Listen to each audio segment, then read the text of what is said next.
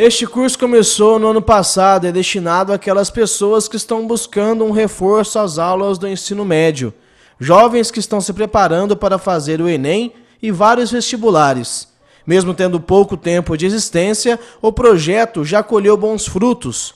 Vários adolescentes já ingressaram em universidades federais. Acho legal que é uma grande oportunidade, né? Esse curso, principalmente para quem estuda em escola pública, que não tem tanta oportunidade de pagar um cursinho particular. E aqui a gente tem ótimos professores, né? Tem grandes nomes aí das, é, das escolas particulares e das universidades também dando aula para gente. Eu acho assim que a gente não pode perder essa oportunidade, né? É, divulgar para as escolas, para os nossos amigos e como o Enem já está quase chegando, a, é, aproveitar, né? Todo sábado estando aqui e não é tão difícil, né? Tá, às vezes pertinho aqui da nossa casa, é só a dedicação mesmo. Eu vejo esse cursinho é, como muito importante porque ele trouxe uma grande oportunidade para aqueles jovens de escola pública que muitas vezes não têm condição de pagar um cursinho particular e a gente sabe que infelizmente é muito injusta a competição que a gente, que a gente tem né, hoje em dia com aqueles que estudaram em escola particular por conta do conhecimento.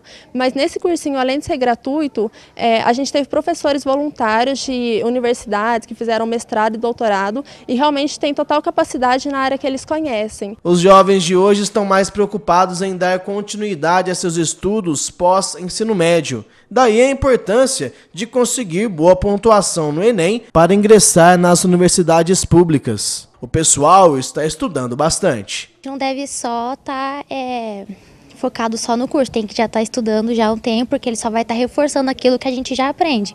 Então é interessante é, já estar tá, tá sempre lendo, tá atualizado das coisas, mas eu estou gostando bastante, porque o que eu tenho dúvida durante a sala e por tempo ser curto, os professores não conseguirem é, é, dar atenção que todos os alunos têm, porque são muitos alunos numa sala, é, esse curso aqui a gente consegue tirar as dúvidas que a gente tem e a gente consegue estar...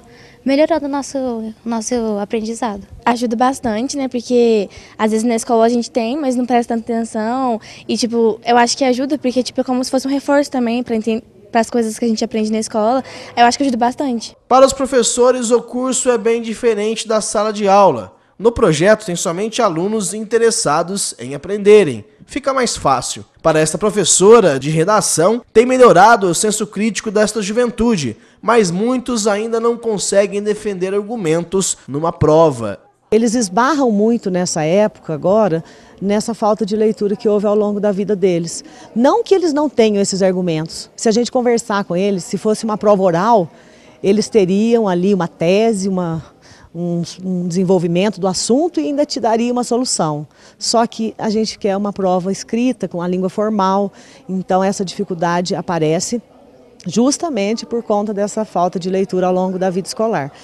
Mas foi o que eu falei para eles. Agora o que nós temos, o que nós temos hoje são vocês aqui em busca de fazer uma boa redação. O projeto está crescendo. De três professores, o curso conta agora com sete voluntários. E ainda tem a ideia de ter mais dois polos, um na Escola de Mundo Cardilo e outro na Padrão. Atualmente, o projeto tem 50 alunos. A gente viu a necessidade de jovens carentes da comunidade, jovens assim que estudam né, em escolas públicas, tem assim uma certa dificuldade em poder pagar um cursinho, né, particular para estar tá indo bem é, no Enem e futuramente, né, tirando uma nota boa, futuramente estarem numa faculdade.